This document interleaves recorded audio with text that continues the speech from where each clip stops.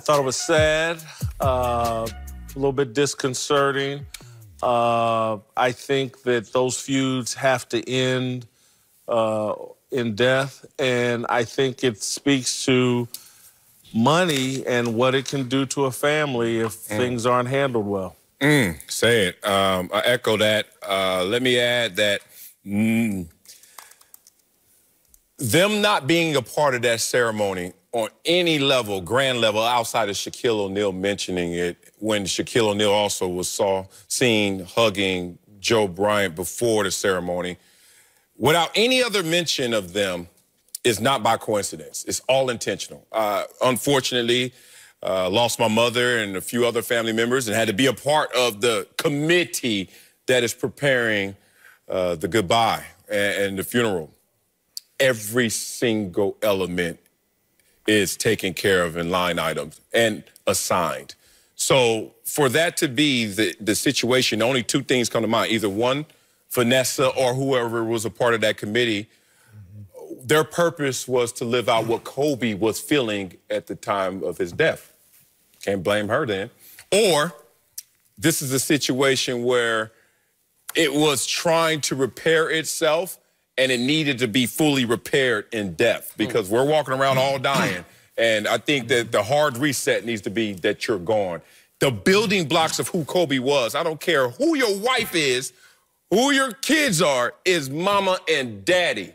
And no matter what distance you guys are at, mm-hmm. don't forget how all of this was able to grow from that base. Yeah, it, it's unfortunate, but I, we can we can back up a little bit just because of what's happened and transpired between his mother, father, and Kobe, and what happened and the disconnect.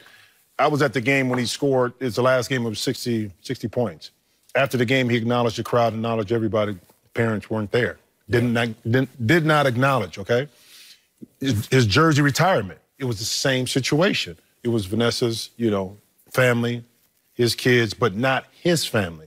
So this is not something that hasn't been done or seen if you track it back, and the unfortunate situation is we don't know the ins and outs of why they couldn't reconcile, but through death, there's a certain closure, but then there's a certain pit that's still open because you weren't able to reconcile whatever those issues were yeah. during the time when somebody was alive. So I was there yesterday and I saw his parents there, and they were, and I, I was kind of surprised actually because of what has transpired, sure. in, you know, in the past.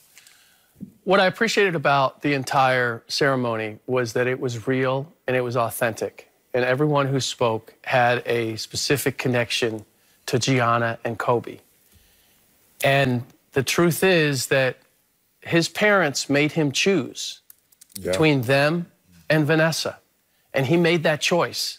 And he built a life around that choice. LeBron James didn't speak. Phil Jackson didn't speak. Geno Auriemma spoke. Now, there are certain things about those relationships that aren't necessarily what uh, are as advertised now, not as genuine maybe as they are portrayed. So that's what I appreciated that he stuck to his, he and Vanessa stuck to their guns. This is the way it was when he went.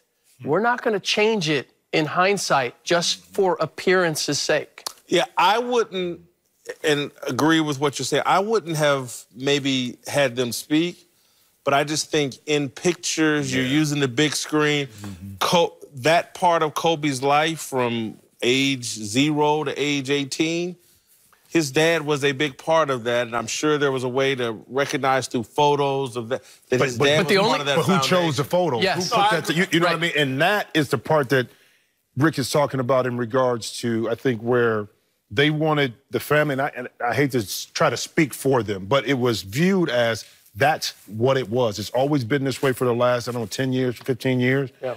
The family hasn't really been a part of it since he had to make that choice if that was given to him. So we're going to keep it status quo in that regard because all the stuff was there that was being shown was that wasn't that family. Right. It was the other family. And and and honestly, it wasn't even Kobe's Laker family. If you look at all of the photos in the 24 page booklet that they gave out to everybody who, who went to the memorial. It's all pictures of either Kobe, Kobe in a Lakers uniform, or Kobe with Vanessa or his daughters. Some combination of that. You don't see anybody else featured in those photos, and the photos that they were showing up on the screen during the memorial was only them. It wasn't, it didn't expand to a larger universe than that. And look, I'm not getting into a taste conversation about how they should have had his memorial, but a matter of fact conversation. Like there were stages and phases of Kobe's development and growth that I think you're supposed to celebrate all of it. You just don't wait to the parade. Who was there building the floats? Mama, daddy, before everybody jumped on the Kobe parade. So my thing is, I've noticed this in weddings, and we don't talk enough about it in funerals. Hmm. weddings have a honeymoon. Funerals have a fantasy phase where we recreate reality. And I've been there before when I've seen somebody in the casket. I'm like, that ain't him. Well, who, who y'all eulogizing ain't him. Right. Why y'all, it's glowing. And look, uh-huh. Yeah. all I'm hmm. saying, if you're gonna be authentic, Yeah.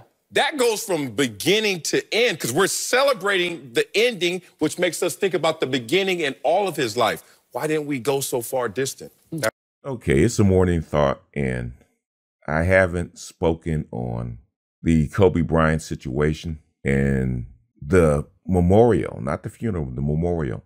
Got to remember, Kobe was actually buried at a funeral two weeks prior to the memorial. The mor- memorial was actually set up by the Lakers and Jeanie Buss, and probably according to Kobe's wishes. And the biggest thing that I'm hearing, especially from black women, is the snub of the parents, so called, and how he's obligated as a grown person to be conciliatory towards towards his parents, which as a parent, I would say that's wrong. One, since he died young, it's out of order because he's supposed to be burying his parents, not the other way around. And they keep talking about Kobe's family, Kobe's family as the parents. Kobe's family is not the parents. Kobe's family is his wife, his partner, and his offspring. That's his family. Now, Kobe was a part of his father's family. And when you get grown and you go off and you pick a partner, you make a family of your own. Now, do the parents become an extension of that family? Yes. Does the sisters become an extension of that family? Yes. Was your significant other, the people that actually take responsibility for you and your children, are not your parents. I have children. They have children. The primary responsibility of my grandson is not me, it's his mother and his father. There's sometimes that, that I've gone to his school events and I've gone to his plays and stuff like that. I've I've gone to them, but uh, lately I've not gone to them because I want to force his parents to do their job, which is they have primary responsibility of showing up at plays, showing up at, at events, showing up at school school stuff because that is their primary responsibility. That's the responsibility I had towards them when they were small. Because they were a part of my family. Those are my children. They were my primary responsibility. So having his mother and father at an event where they should get center stage is not necessarily true. Get that out of the way. Saying that they should be acknowledged for raising their child is they get that when it, when the child is in life.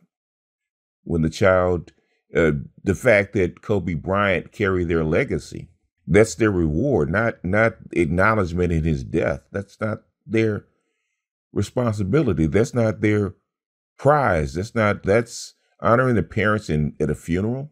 Okay, number one, America's not set up like that. Number two, they are not the matriarchs or the patriarchs of his family.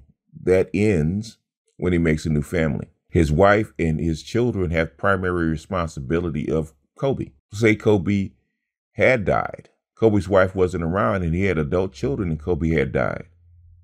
Then it's not the parents' responsibility to bury Kobe, it's his children's responsibility. Say if Jelly Bean died and they had a memorial service for him, Kobe's mother would be responsible for burying her husband, and she would determine who gets to speak and who gets front and center stage. That's the order of things. Now, I was just watching a sports show. They're actually talking about Kobe and his parents and the appearance of things and how he was mentioned and what the parents' role was and who set it up. And I've, noticed the difference between how black people, black people that, that are part of this gynocracy see things versus white folks, which is which is interesting. I think I'll actually play the clip at the front of this of this video because it's quite interesting.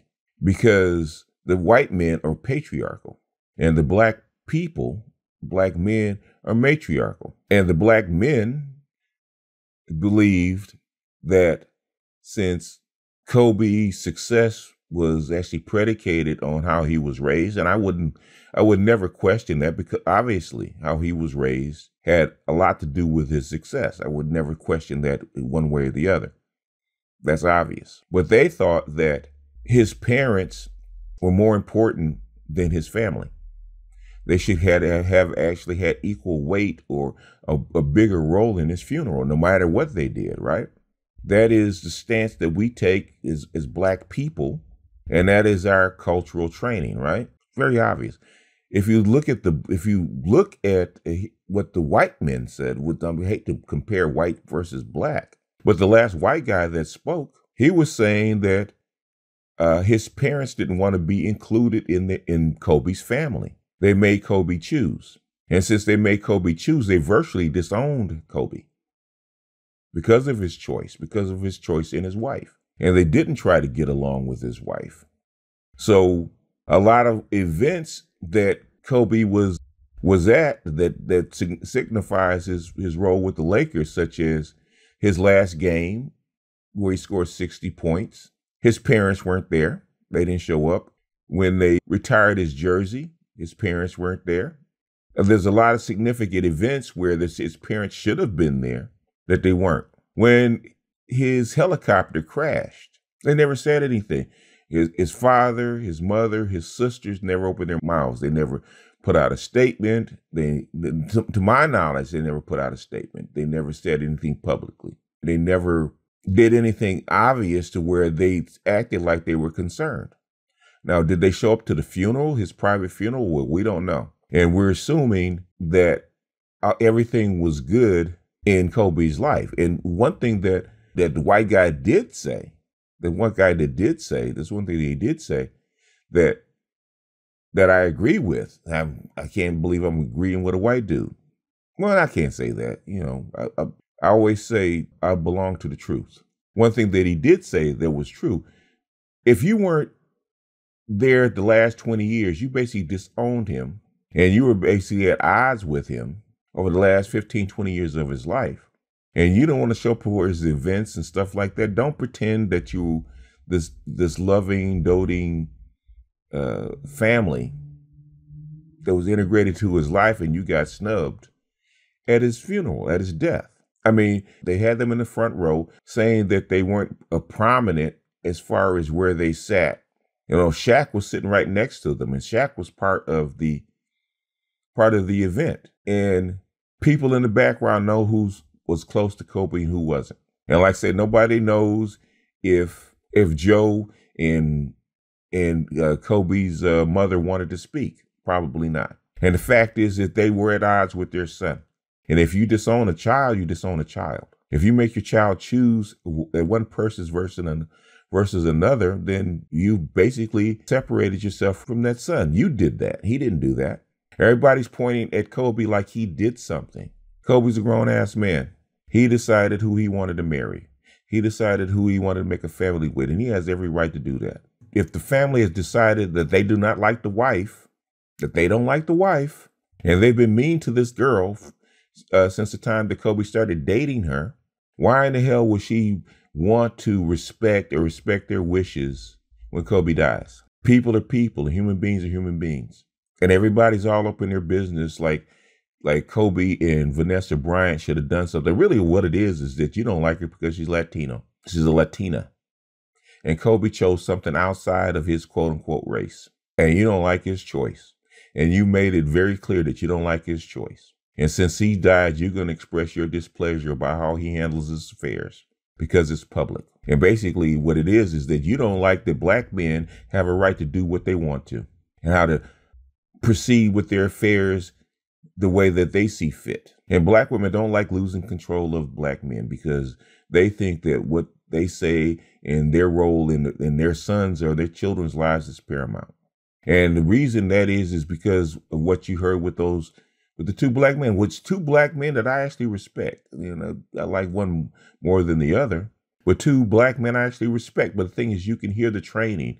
You can actually hear the brainwashing, the cultural brainwashing that black men have. Because they really weren't talking about the family. They weren't talking about the father. They were talking about the role of the mother. And that you actually disrespected mama. And it always comes back to that in the black family. And the thing is, we don't want to admit that this is the case. I'm getting really sick of it, of black people and black women doing this. Admit it. Admit that this is not the order of things in the gynocracy. And really, what it is is not that you, the, the slight of the family, you know, because you know what it is. You don't like that he slighted his mother. And black women have a certain feeling about the mother, the matriarch in a matriarchal society that the black community is. That's why Kobe Bryant is a shining example that puts a spotlight on the gynocracy, much the way uh, the OJ trial, the OJ Simpson trial, put a spotlight on the divide in the racial hierarchy back in 1994. It put a spotlight on it, and the and the racial divide, the the racist feelings came out during the OJ trial. And I think Kobe Bryant's death is going to put a spotlight on the divide between black men and black women as far as the gynocracy is concerned. Because guess what? Black women will not let this go. They will not let this go. Kobe Bryant slighted black women all over the all over the uh, put a spotlight on the hierarchy of the gynocracy all the way up to Susan Rice. And black women will not let this go. We're still talking about it. We're not even talking about Kobe Bryant's death, which is actually the most important thing. The funeral and the memorial is not important. The man's death is more important that we lost a great man. I don't care what you say about him. We lost a great man. And the fact that we lost a great man and we talked about him like he's a child is ridiculous. Who gives a fuck what his mother thought? Who gives a fuck what his family thought? Every, no, there's nobody perfect on this planet. There's nobody perfect as a human being. There's nobody perfect that has a family. There's always family rifts. Had Kobe been married to a black woman, nobody would have said nothing. No matter what the mother would have spoke or not. But since he wasn't married to a unapproved black woman and he's married to a Latina, everybody got something to say.